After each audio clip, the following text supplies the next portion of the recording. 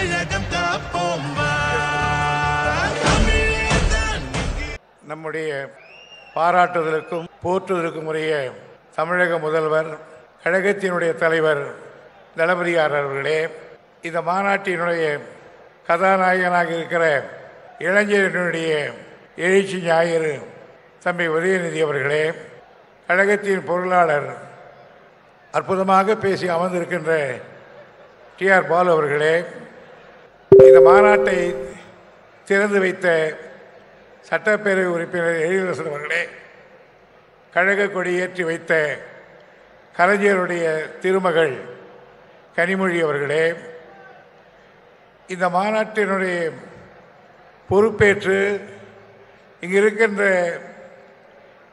ராஜேந்திரன் சிவலிங்கம் செல்வ கணபதி ஆகிய மூன்று மாவட்ட கழக செயலாளர்களோடு எல்லா க- கட்சி தோழர்களோடு பணியாற்றி இந்த மாநாட்டை வெற்றிகரமாக நடத்தியிருக்கிற இந்த மாநாட்டினுடைய பொறுப்பாளர் நேரு அவர்களே கழகத்தினுடைய துணை பொதுச் செயலாளர்களே மாவட்ட கழக செயலாளர்களே ஒன்றிய கழக நகரக்கழக கழக கிளைக்கழக செயலாளர்களே குழுமி இருக்கிற நாடாளுமன்ற சட்டமன்ற உறுப்பினர்களே பெரியோர்களே தாய்மார்களே உங்கள் அனைவருக்கும் என்னுடைய அன்பான வணக்கம். இதை என்னை பொறுத்தவரையில் ஆப்போ அரசவர்கள் முதல் மேயராக தேர்ந்தெடுக்கப்பட்டார். அவர் இருக்கிற பொழுது சென்னையில் எஸ்ஐஏ திடலில் இரண்டாவது மாநாடு என்று கருதுகிறேன். கழகத்தின் இரண்டாவது மாநாடு நடைபெற்றது. அந்த மாநாட்டில் நான் கலந்து கொண்டிருக்கிறேன். பார்வையாளராக.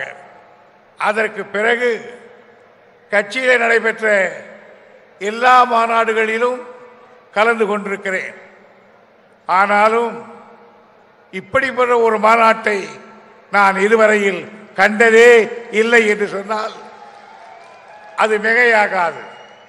காரணம் ஆயிரத்தி அறுநூறு அடி நீளம் ஆறுநூறு அடி அகலம் நூறு ஏக்கரில் ஒரு மாநாட்டு நிலவை. இதை விட என்ன பெருமை வேண்டும்? நூறு ஏக்கரில் மாநாடு நடத்துகிற ஒரே இயக்கம் திராவிட இயக்கம் திமுக மட்டும்தான்.